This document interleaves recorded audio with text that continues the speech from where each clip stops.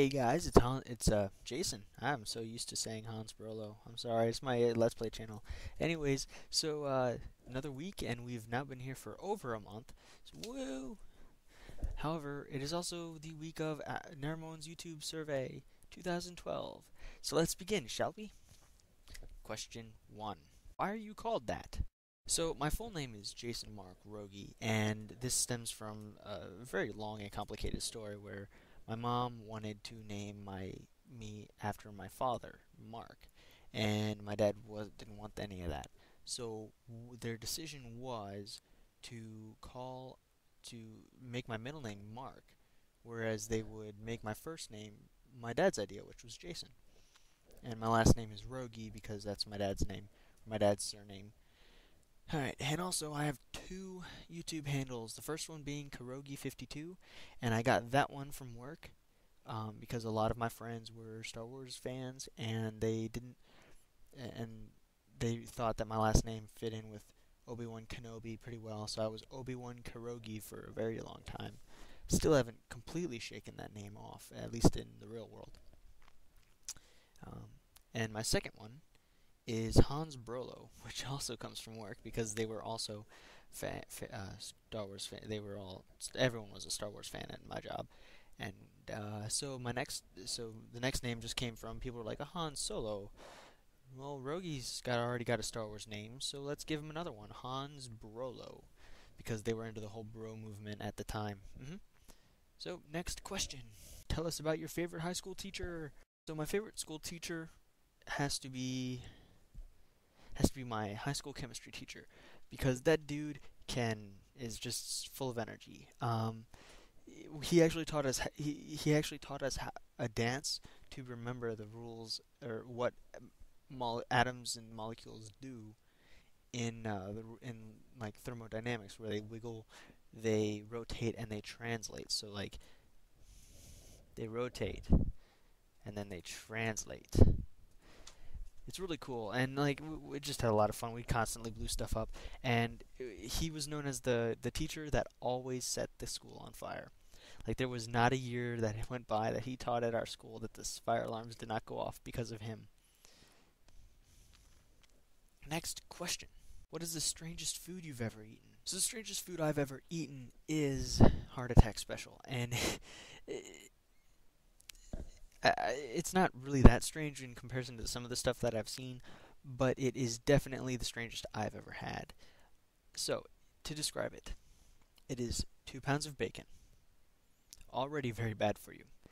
A pound of bacon, or not a pound of bacon, a pound of um, noodles. I don't really remember. Um, they're the long tubular noodles. Um, and then about a pound of Velveeta cheese and a lot of tomato paste. And you mix it all up into a casserole and you layer the bacon on top of the whole casserole. And it tastes like a heart attack. I don't, I'm kid you not. Like, holy crap. It tastes great, but it's also the weirdest thing that I've ever eaten because you shouldn't be able to survive eating that. next question tell us about your first gig. So the first gig I ever went to, period, would be Crewfest 2, which is uh, Motley Crue's response to Ozzfest, and that was, the, and Crewfest 2 was the second one they'd ever put on. The first one being sometime beforehand, I don't really care, but the one I went to was in 2009, and it had uh, Drowning Pool, Godsmack, Motley Crue, Cavo, Theory of a Dead Man, I think I think Theory of a Dead Man. Yeah, Theory of a Dead Man. And that was was were the major headliners. Um, everything else was just kind of like small talk. All right, and the next and that one was paid for by my my mom and my stepdad at the time. Uh, because they wanted to go to, and yeah, we got a four pack of tickets, so we had a lot of tickets. Um, all right, the next one I went to, which was the one I paid for, uh, the first one would be Point Fest, and there's a local radio station called The Point. It's uh, it's actually got a website, and I'll go. I'll have a link down in the description because it's got some really good alternative music on there. Um, most of it's mainstream, but you know I don't really. It doesn't matter. It all sounds good in the end. Um, and each year since uh, about five years after they started, they had put on two. They had put on two um, fe- music festivals a year. Um, and the first one I went to was the one that was headlined by Three Days Grace, Papa Roach, and someone else. I don't other people.